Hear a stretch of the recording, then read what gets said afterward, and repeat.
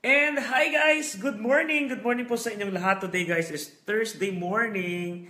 So yun, nag-try tayo kanina kasi nga medyo madilim. But then it's okay now and this morning guys, mas maganda po ang pag-uusapan natin. And this is one of the most requested talaga na topic ng mga viewers ko from the Philippines, especially from the Philippines ha. If you, how you guys will avoid na ma-offload po sa NAIA pa lang. Or to those who are like from other countries na gustong pumunta dito, ano yung mga questions nyo? This is guys the perfect time for you guys to throw question by just writing down in the comment box below at sasagutin po natin yan or through the help of some of the viewers na may mas magandang sagot para po makatulong tayo sa ating mga kababayan. Anyway guys, before we start that, okay, I'm going to check Okay, some of the questions na na-send na sa akin noon that I would like to to share it online para po masagot na rin natin. Okay, so standby po muna. Hello kay Iris Bersedi and of course kay Ate Doris Durante. Good morning sa inyo. So, let's do this first. Kumusta naman pang umaga nyo guys?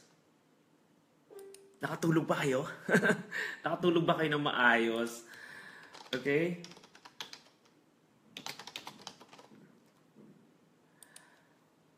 Alright, so sabi po ni Nan, Nen Grace De La Torre, hello po, watching from Hong Kong. God bless you po. Hello po sa mga kababayan natin dyan sa Hong Kong. I think this already afternoon.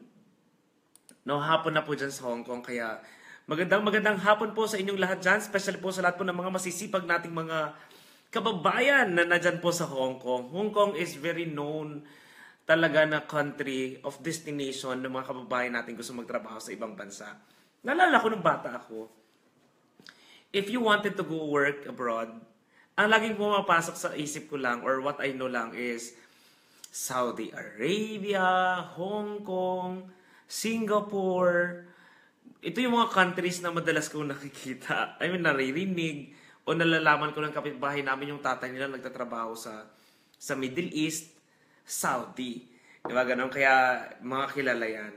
Anyway guys, sabi po ni Jove Annie Caliora, Hi, good day, God bless you po. And also, sabi naman ni Ate Irene Clemente, Hi Junie, nice to see you again. Keep up the good work, missed you. Yon, sorry talaga Ate Irene, I'm supposed to be there sa Dagat-Dagatan restaurant yesterday night for the press conference ni ni uh, sino ang singer yun? ni Jam Morales kasi magkakaroon siya po ng concert dito sa Dubai this coming Friday. But unfortunately, because of my job, I can't. Kasi di ba po, I have to prioritize my work kasi and I will just do yung mga bagay na extra after my duty. Kaya yun yung reason. But anyway, Thank you so much, of course, to all of my followers na naiintindihan tayo that sometimes I can't really come sa ibang mga events. Okay? So guys, hello kay Leonard Afables Kaynard.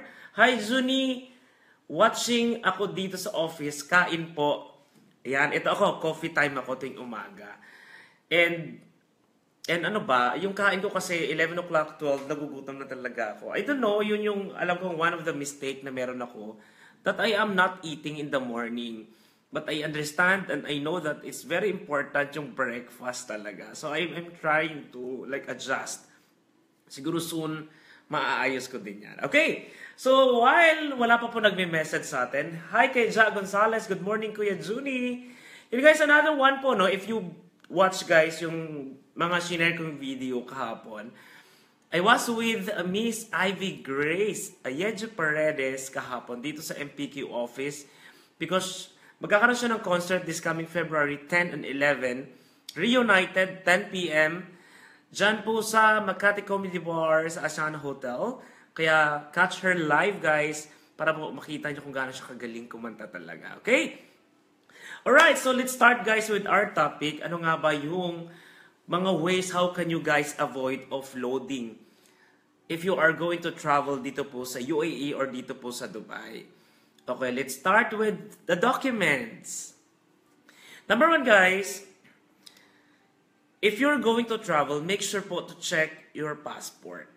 your passport must be six, at least 6 months valid upon traveling po. Okay, ibig sabihin, if your passport, do check your passport. Kapag yung validity niyan is less than 6 months na, Philippine immigration officers will not allow you to travel.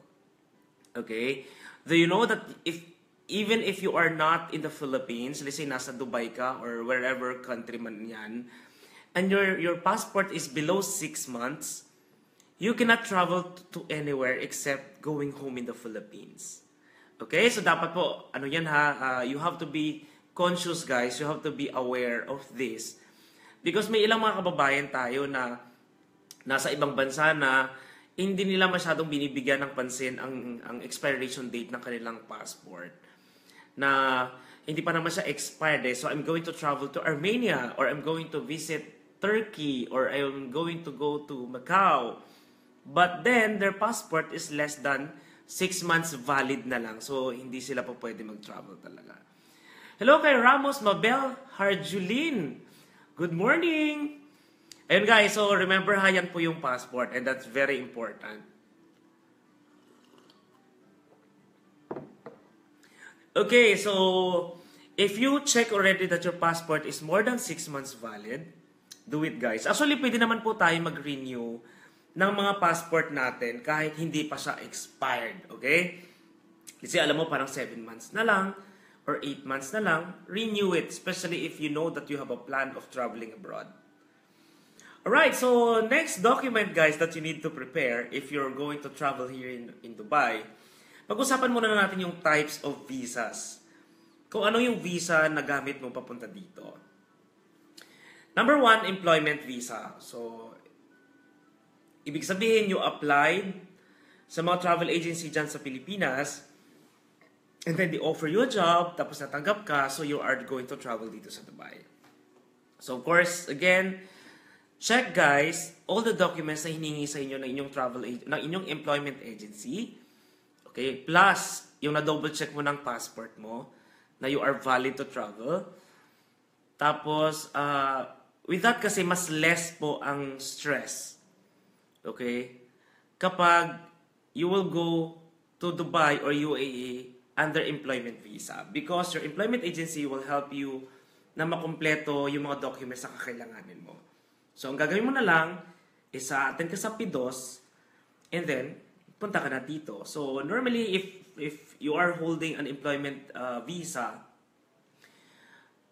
going to Dubai or UAE, eh wala pong problema sa ano sa Philippine immigrations kasi that's what exactly what they want for Filipinos kasi iniiwasan nila yung mga baka mamaya mag-TNT ka lang or maiwasan yung mga crimes involved sa mga traveling yung mga human trafficking, at kung ano-ano pa.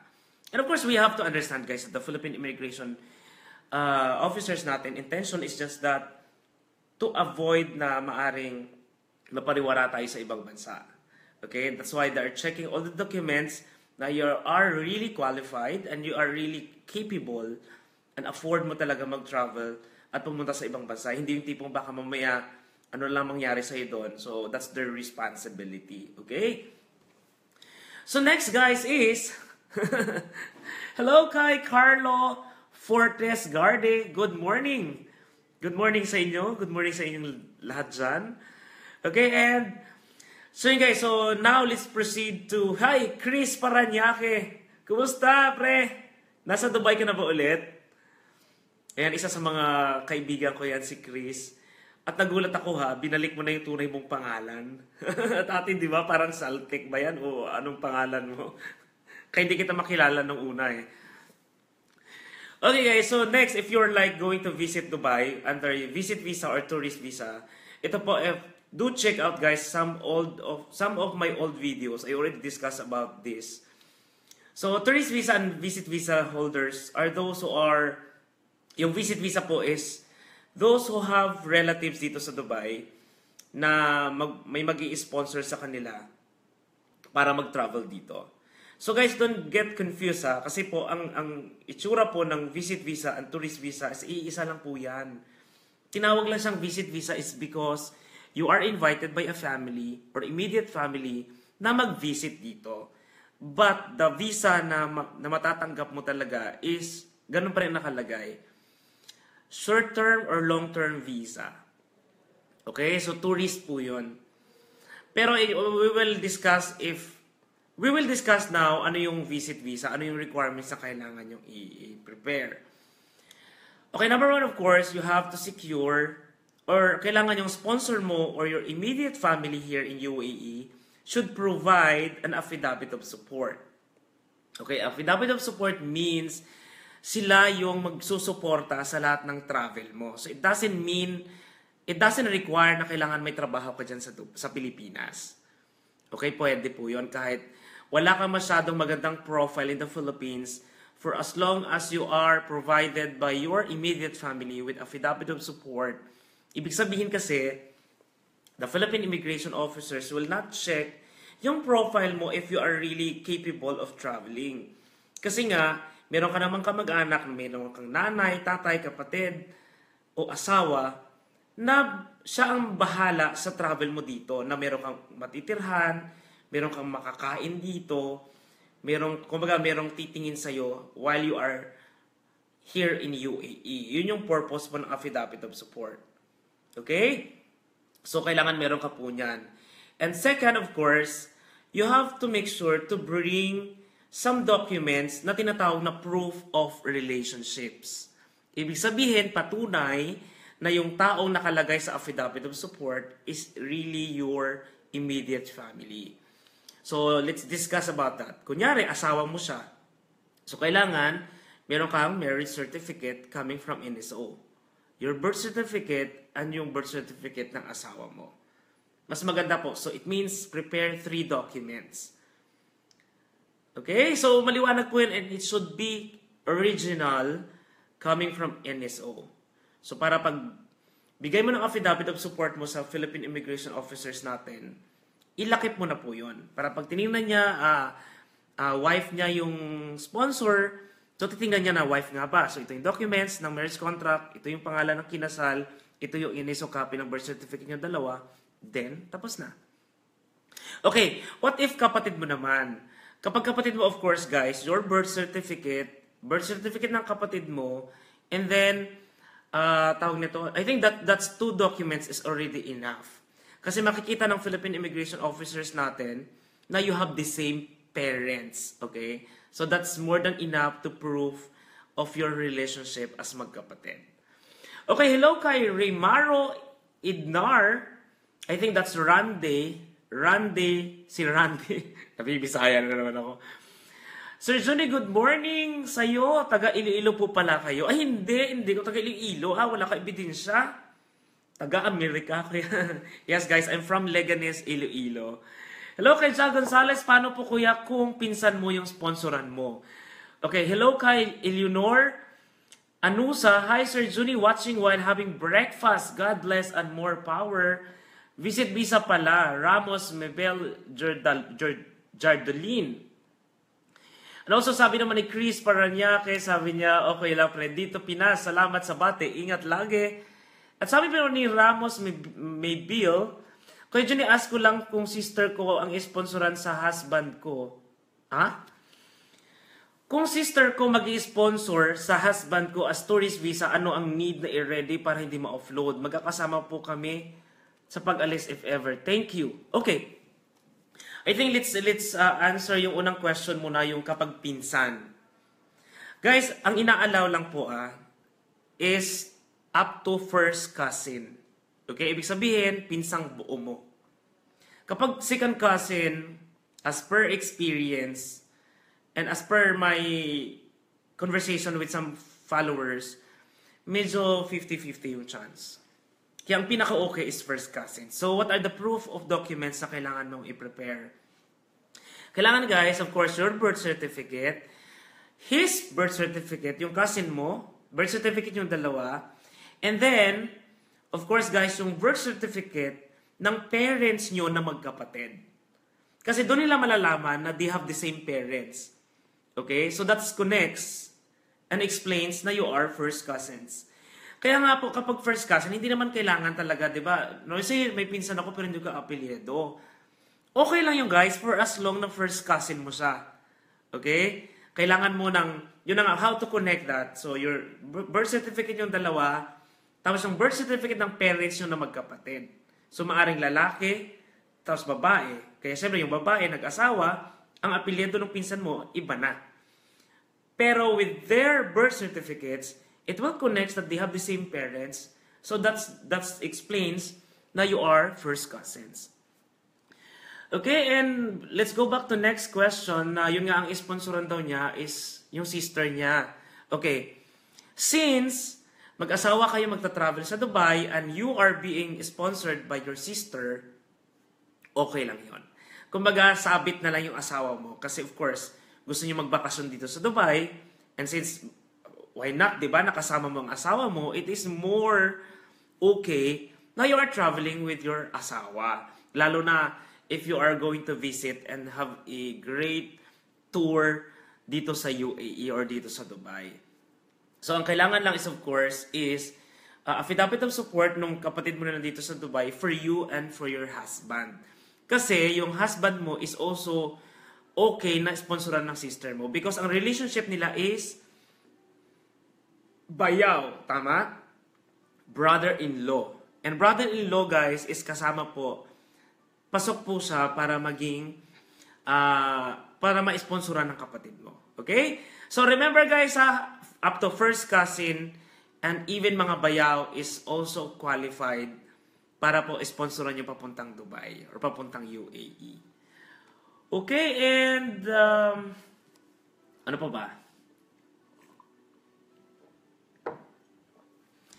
Hello kay Emily Kagada, Sir Juni, magandang umaga. Nag-a-assist po ng Australia Visit Visa ang MPQ Tourism. Please advise po. Salamat. Yes, guys. Just to give you an update, uh, MPQ Tourism, eh, tumutulong po kami sa pag-process ng Australian Visa, UK, Shenzhen, US. Okay? Kaya if you guys have like uh, plan of applying for that kind of visa, PM nyo po ako, then I will send you guys the documents, okay? Alright, so let's proceed guys with the next uh, tip na may share ko para po maiwasan nating ma-offload dito po sa Dubai, if you are traveling to dito sa UAE or dito sa Dubai. So, nandun na po tayo sa proof of relationship documents, okay? So, ano pa ba yung mga ibang relationships? Kapatid, na pag-usapan na natin pag-asawa, of course. Basta guys, simple. Think of anything that will connect you, that will prove na kamag-anak, na immediate family mo siya. So as simple as that. But then try to get the original copy na ipapasa mo po sa uh, Philippine immigration officers natin kapag dumaan na kayo sa immigration. Okay, so next document guys is yung visa na hawak nyo. Okay? No, no, no. Let's proceed. Yeah, visa na hawak nyo. Make sure to check the dates. May nakalagay po dyan expiration date or validity date. I don't know what's the right term. The right term is valid until. Okay, so nakasulat po dyan sa visa nyo yung valid until. Okay, ang ibig sabihin po niyan is valid yung visa na hawak mo na yan until that date. Okay? So like example dito nakalagay April 4. Okay? Hindi po ibig sabihin nito na hanggang April 4 na lang ako sa Dubai. No, that's not true. Okay? Ang ang ibig sabihin po ng valid until na yan na nakalagay sa visa nyo means you can use this visa until that date paalis ng Pilipinas papuntang Dubai. Okay, or paalis from wherever you are. Ibig sabihin, ang validity nito. Kunyari, ginamit mo to ng April 5. Void na po siya. Hindi na po siya valid to use. Okay? And another tutorial guys na isisingit ko lang is makikita nyo po dito yung nakasulat na tourist single short. Okay, kapag nakalagay po na single short or single long, ibig sabihin po short term and long term pang ibig sabihin yan. So kapag short pong nakalagay, it means you are allowed to stay in UAE for 30 days. Okay, how to know yung pagka-count ng mga number of days na yan. Yan po guys is upon pagdating nyo po sa Dubai, tatatakay nyo ng, ng immigration dito sa Dubai. So yung date na yan, that will be the day one of your valid stay sa UAE. Kunyari, example, nakalagay dyan February 1. So ibig sabihin, from February 1 up to February 30, which is wala palang 30, no? Hindi magandang example. Kunyari, March 1 up to March 30, valid ka magstay sa UAE. Pero kung nakalagay sa visa nyo is long term, it means uh, from the date na tinatak sa'yo, count kayo ng 90 days. Okay, hindi ibig sabihin exact 3 months. Kunyari, pumasok ka ng January 1. Ang iniisip mo, January, February, March. March katapusan ka, mai-expire no. Kaya nga po, ang tawag talaga dyan is 90 days. Dapat days ang ika-count nyo, hindi yung month. Kaya ako iniiwasan ko yung 3 months. Sinasabi ko 90 days. Dapat ganun yung tamang term. Okay? So, from the time na, anong date na tinatak sa inyo pagdating nyo dito, count kayo ng 90 days. That will be your last day na valid stay dito sa UAE. So, ang ginagawa ko dyan, to make it shortcut, count ka ng 3 months minus 3 days. Okay? Kunyari, yung last day mo, is kunyari dumating ka dito is kunyari uh, February, kunyari February 10. So, February, March, April, May. May 10. Di? Minus 3 days. So, yung last day mo is May 7. Okay? Sana po malinaw po yan. Okay, hello kay Rimaro Randy. Sabi niya magkano po expenses sa Armenia, Sir Juni, if you want to get visit visa. Okay, total, uh, guys, if you're traveling to Armenia, uh, we have a complete package of one month that's only just 1,600. For 3 months visa naman po, it's only just 2,200 dirhams. Okay, ang gagastusin nyo na lang po doon is of course yung hostel, which we have the most affordable hostel na katay up guys sa Armenia. Meron pa kaming 25 dirhams per day or 35 dirhams per day lang with free breakfast na po yon, free wifi po doon sa hostel. At super babait po ng mga staff sa best hostel na katay up namin. Okay? And of course, babayaran nyo ang 25 dirhams in conversion ng Armenian visa upon arrival po doon sa airport sa Yerevan, Armenia. Okay, so sana po malinaw yan. And also coming from Mary Jane Nadella, as per experience last December 2016, kasama ko ang tsahin ng first degree cousin. May sponsor. First cousin ko siya po at nahihirapan. Madaming tanong sa kanya, buti na lang kasalanan ng PAL kung bakit kami muntik maiwan. Ang PAL na lang nakipagkumbinsi sa officer. Ako dalawang tanong lang. Ano ang trabaho ko at ano ang course ko? Yun lang. Okay, so we will talk guys about dito sa sinuggest sa atin ni Myra Jane about sa mga tourist naman later. Kasi as of this moment, we're talking about uh, sa mga naka-visit visa status pa lang. Okay? Alright, so I think we're done guys with the proof of documents, a proof of relationship na meron kayo. And we are done with affidavit of support. Okay, next po is yung ticket. Okay, let's talk guys about the ticket na meron kayo. If you are a visit visa, traveling to UAE or Dubai, guys, tandaan nyo po, if you are going to travel anywhere in the world, it is a requirement guys na meron kang return ticket Sino lang ba ang hindi nangangailangan ng return ticket? Return ticket, yung ticket mo, let's say, from Dubai, babalik ka ng Pilipinas. Okay? Ang mga hindi lang po kailangan yan is yung mga naka-employment visa. Because, magtatrabaho pa doon eh, so hindi mo kailangan bumalik. Because as per ano naman contract, the employers are the one who will provide you with your ticket going home the Philippines once you finish your contract. So, tandaan po, sila lang ang hindi kailangan ng return ticket.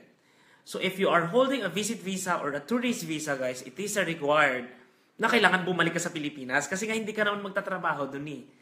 Okay? So, make sure to check, guys, that you have a return ticket. If wala, eh, mag-alala ka na.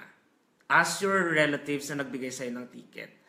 Okay, good morning, Pablo Deles, na nanonood sa atin ngayon.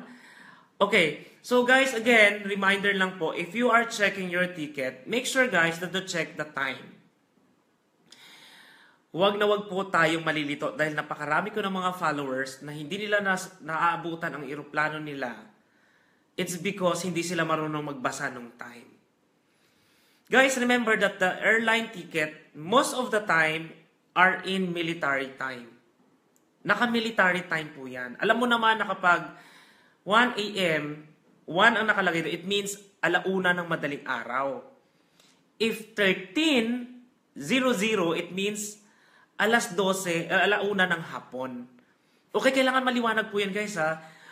Dapat po tandaan nyo that's a military time. Kapag, uh, kasi nakita mo 4.30, akala mo 4.30 ng hapon. Wala naman nakalagay na AM at PM, ibig sabihin po, military time yon. Pero, for example, like Cebu Pacific, nakalagay may EM tsaka PM. So, nakalagay sa kanilang 2 PM, ibig sabihin hapon. Pag nakalagay na 3 AM, ibig sabihin alas 3 ng madaling araw. Pero there are some uh, airline, ang ticket nila is 4. Ganun ang nakalagay. So that means guys, it's military time. Ibig sabihin that's 4 a.m. Pero kung 18.05, so 18 minus 12, that's 6.05 ng hapon. Okay? Ganyan po pag nag-check tayo ng ticket. And always make sure guys that you have to know kung anong airport ka pupunta because it should be written in your airline ticket kung saang terminal ka pupunta. Okay? And another rule guys is, is please be in the airport 3 hours before your flight.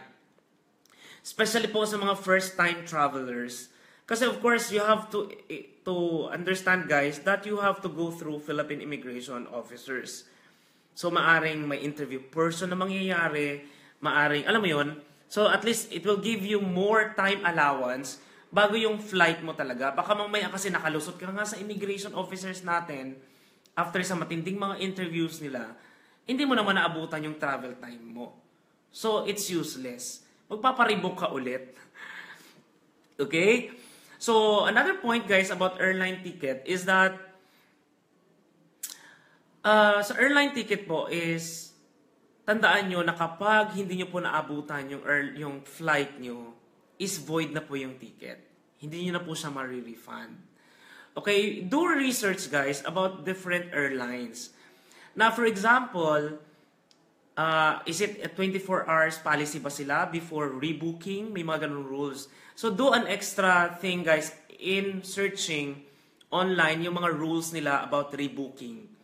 Because there are some airlines where basta at least you have like hours before pa ng flight scheduled time mo, eh pinarebook mo, eh okay lang. But there are some like companies, example, uh, Fly Dubai, eh kapag 20, pasok na sa 24 hours ng, ng scheduled time of travel mo at ipaparebook mo siya, hindi na po pwede. Void na po siya.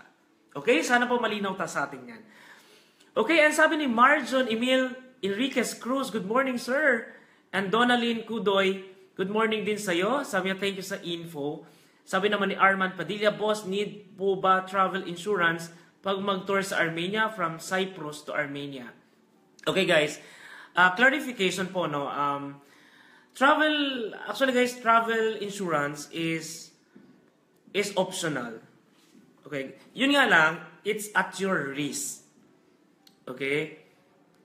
Kung mga risk mo yun, kapag may nangyari sa'yo, at wala kang insurance, hindi mananagot sa inyo ang airline. Pero, kung enough naman yung budget mo, feeling mo naman, alam mo yun, kaya mo naman, or it's okay. You can just call the airline and inform them that you wanted to include yung uh, travel insurance sa, sa ticket mo.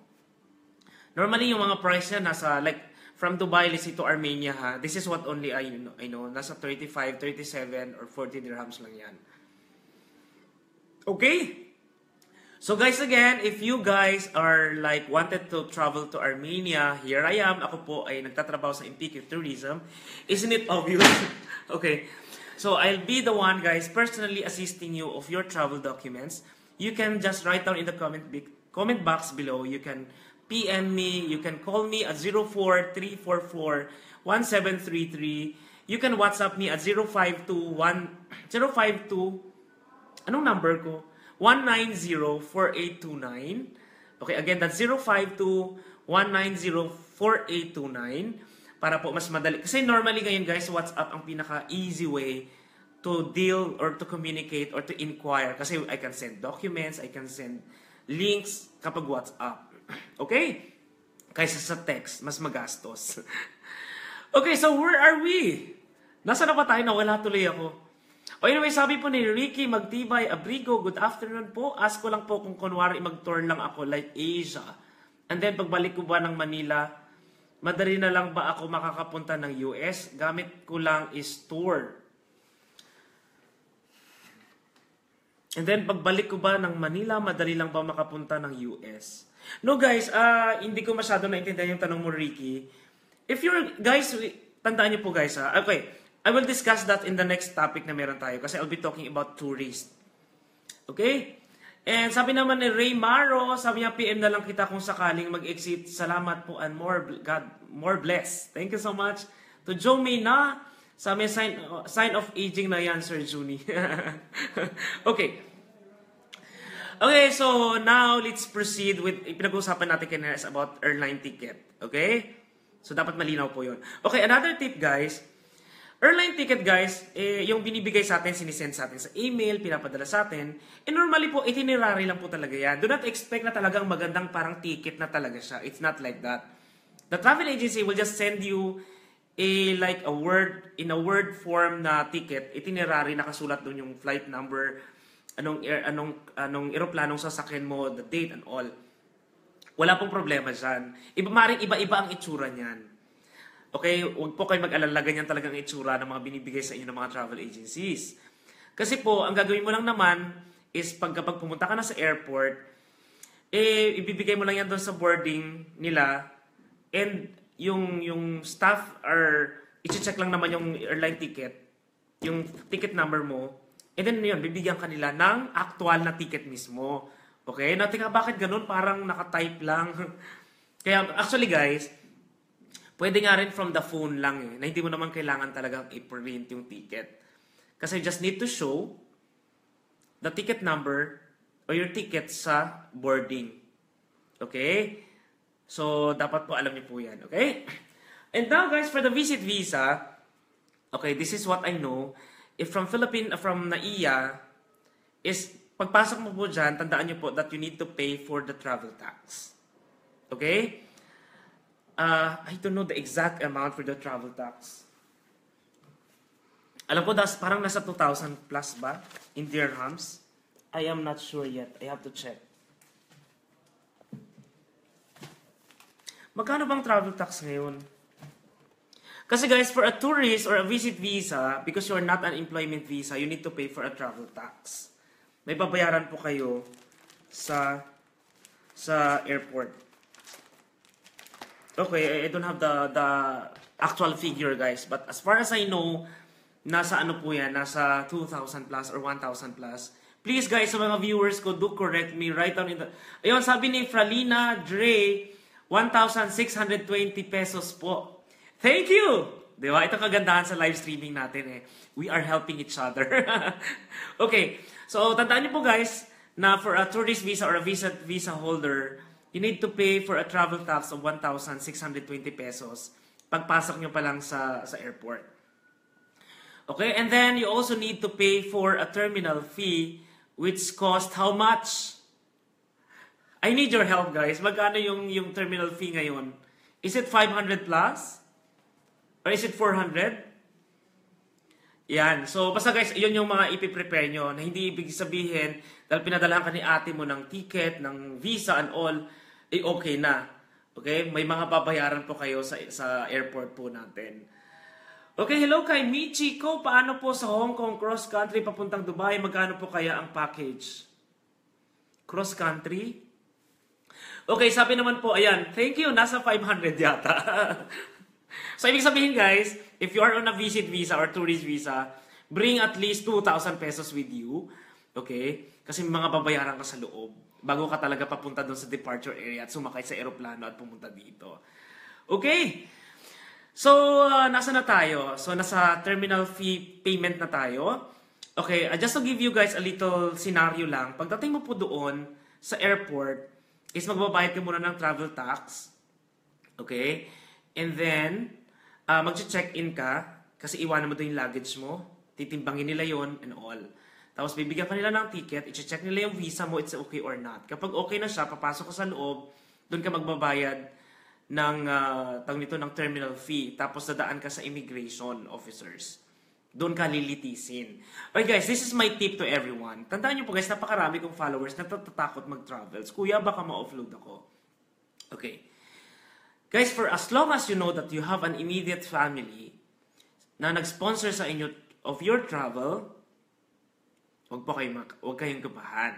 Kasi tandaan niyo po that it is your right to travel. Okay, karapatan po natin mag-travel. Kaya, lalo na alam mo naman na wala kang krimen na gagawin, bakit ka kakabahan ng marat sa Philippine immigration natin? The Philippine immigration officers are there to filter, filter, okay, yung mga travelers na maaring, alam mo, mga, maaring mga mabiktima lang kasi ng mga human trafficking, alam yun, yung mga, baka mamaya, pinapunta lang ng ganito ni ganyan sa ibang bansa, tapos mamaya, eh, alam mo yun, hindi, they are there for our safety. So we just have to follow what is or what are the requirements and documents. Okay? Pero alam ko po may mga bad chismis kasi about Philippine immigration officers. So next day na lang po natin pag-usapan yan.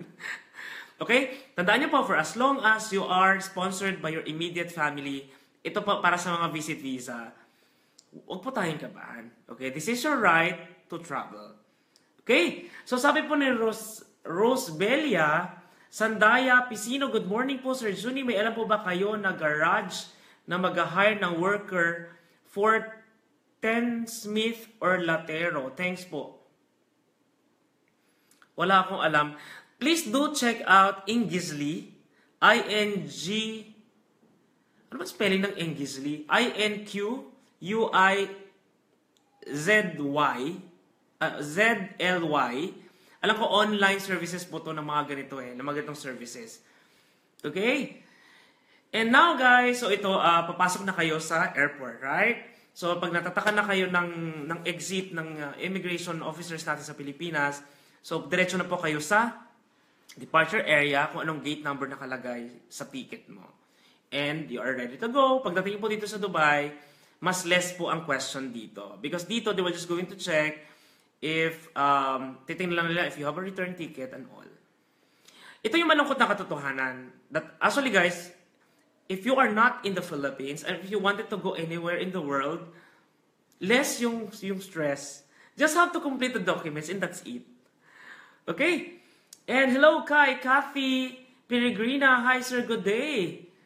Okay guys, now let's move on to our next type of visa holder na magta-travel sa Dubai.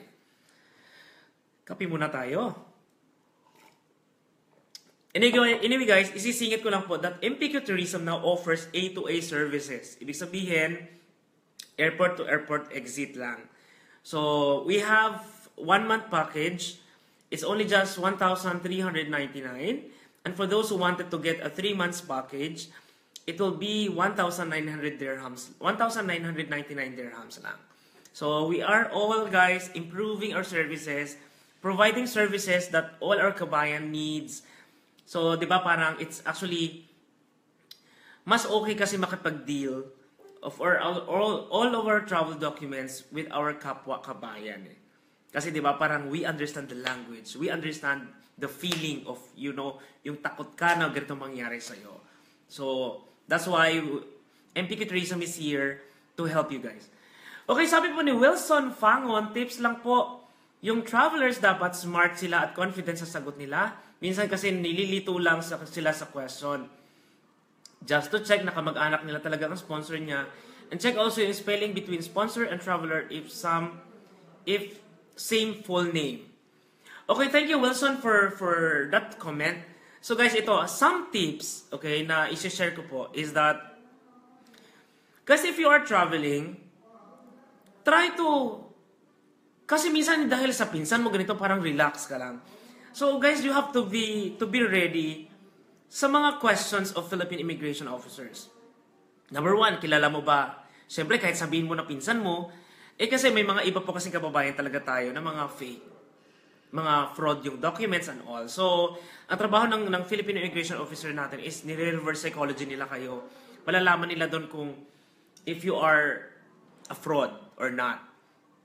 Kasi di ba kung kapatid mo, pag tinanong ka, anong pangalan ng kapatid mo? For sure, alam mo ang full name ng kapatid mo. Alam mo ang birthday ng kapatid mo. Alam mo kung kailan siya huling nag-travel. Ano ang trabaho ng kapatid mo? So those kind of questions should be dapat alam mo. Kasi di ba kunyari, fraud ka, eh, based on the documents na pinasa mo, may tinanong sila doon na hindi mo alam. Hindi mo naman kailangan memorizing talaga lahat, okay? Pero yung mga basic questions kasi is yung nga, ano trabaho ng kapatid mo, ano bang work mo dito, yung mga tipong ganun. So, just be a little conscious about the details ng mga requirements na pinapasa mo sa Philippine immigration officers natin. Okay na yung tipong, ay tika, ano nga yun? Dapat hindi ganon. Huwag kang syunga. Okay? Kasi mabubuka ka lalo na sa mga, sa mga lumulusot lang dyan ha. Tip natin yan. Okay, let's proceed guys to tourist. Kasi itong question yung binanggit ni Wilson kanina, mas pag-uusapan natin yan. Okay, sabi ni Raymaro, dala-dala mo pa yung magmusar kahit doon ka sa Armenia. Yeah, this is actually guys a a mug from Manny Pacquiao. Kasi this is one of Manny Pacquiao's business dito sa Dubai. MP Champ. This is guys the Organo Gold. Lovely Villarreal, kasi sir, sir, Philippine immigration officers are very strict dahil tatlong beses po ako na-offload for going Saudi. Maigpit sila, especially to those yung na-offload na kapag may record na. So pag-usapan natin yung about sa offload, na-offload ka na, paano mo ma malulusutan ulit. Okay, yan yung last topic natin mamaya. Okay, so guys, for a tourist naman, okay, um, tandaan nyo po na hindi naman lahat ng may kamag-anak lang ang pwedeng pumunta sa Dubai. Those who have with a really good profile in the Philippines can travel dito po sa UAE as tourist. Lahat po talaga ng mga mga unang aminin na natin yung mga may kaya sa Pilipinas, yung mga magaganda ang trabaho, can travel the world. Because they are capable and afford nila mag-travel. At hindi siyempre kukwestiyonin, isang doktor magta-travel. Hindi naman kukwestiyonin na masyado yun ng Philippine Immigration Officer sa tika. Di ba? Parang, kaya niya naman eh. Malaki naman sahod nito eh. Yun yung, yung, yung logical explanation of some Filipinos na walang kamag-anak na pwede naman talaga mag-travel. Okay, ano naman yung mga hindi? Kung alam mo naman na wala kang trabaho sa Pilipinas, wala kang kamag-anak dito that will provide you affidavit of support, magta-travel ka sa Dubai, so that's a big question. So, siyempre, ma-offload ka.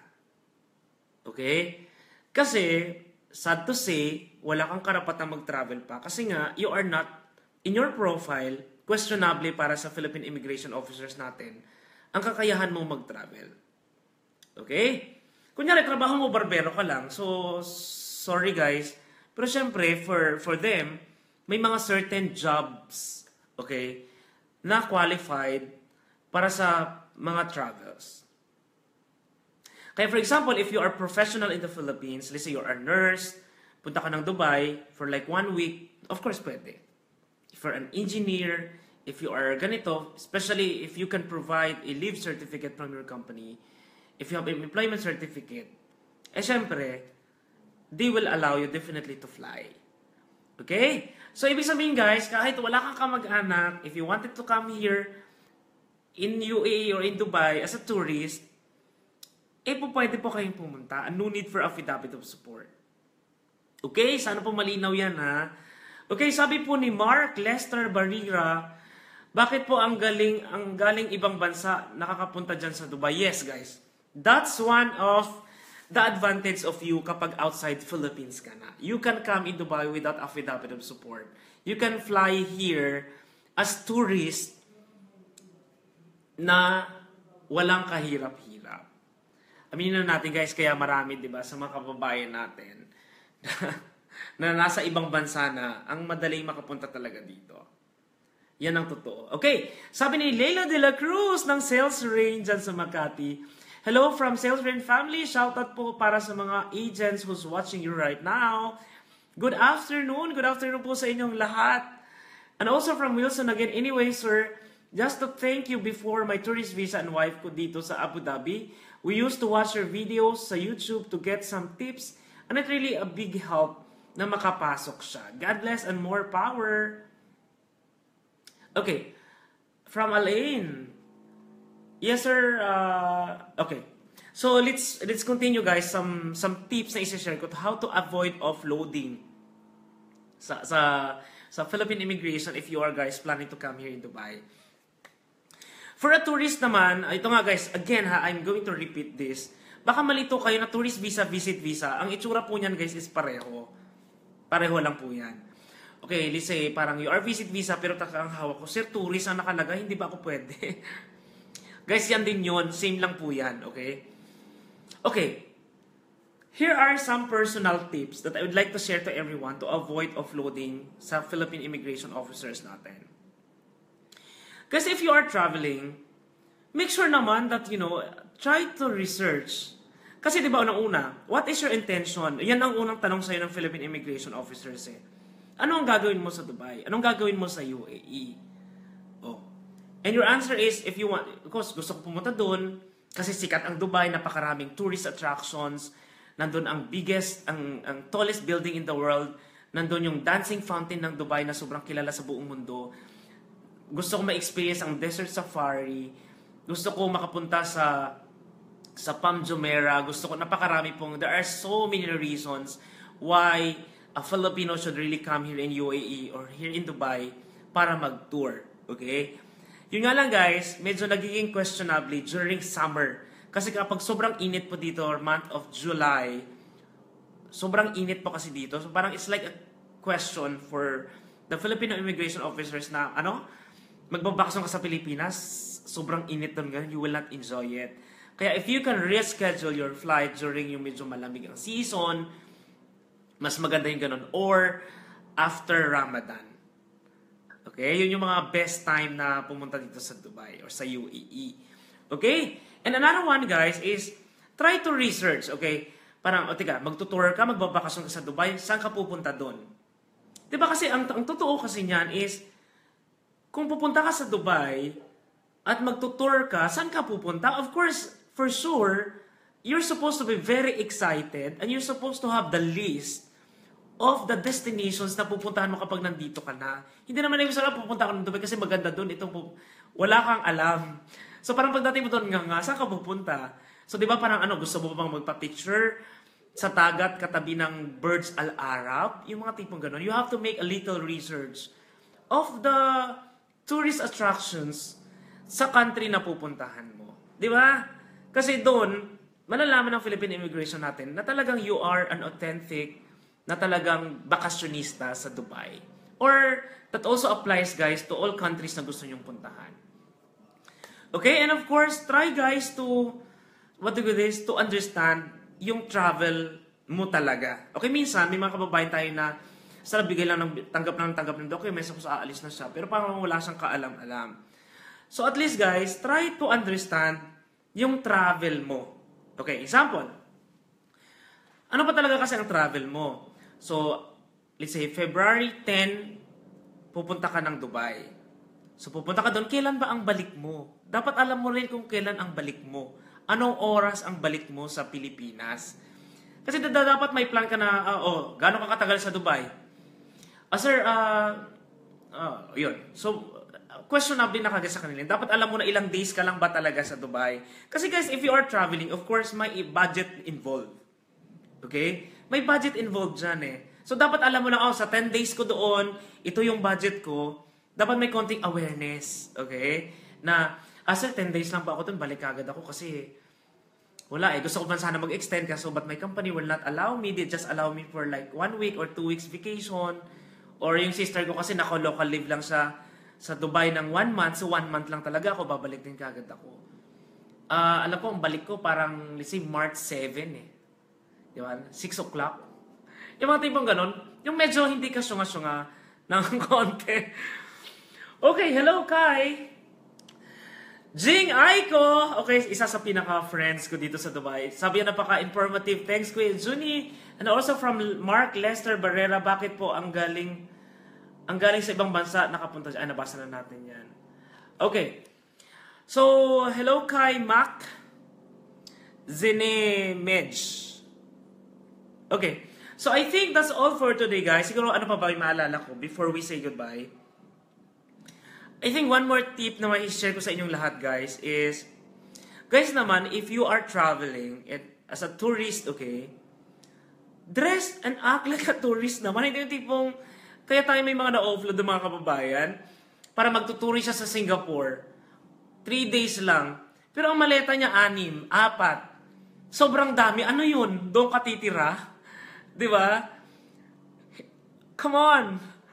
Kaya yan po yung huling message ko sa lahat na if you are traveling guys, as a tourist or sa ganito, hindi mo naman kailangan dalhin lahat ang buhay mo.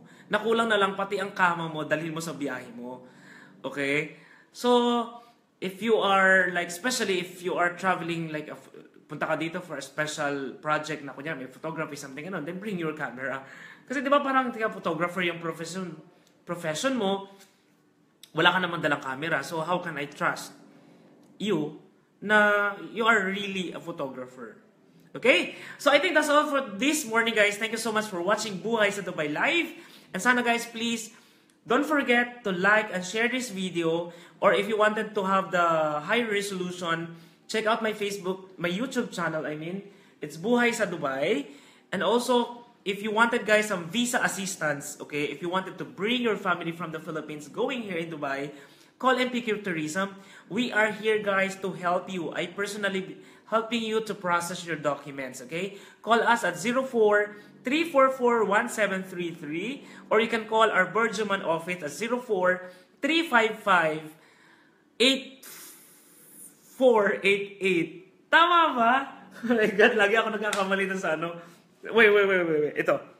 No, that's wrong. Bakit ba hindi ko nakakapisado na ngayon ang ano, ang, ang, ang satwa?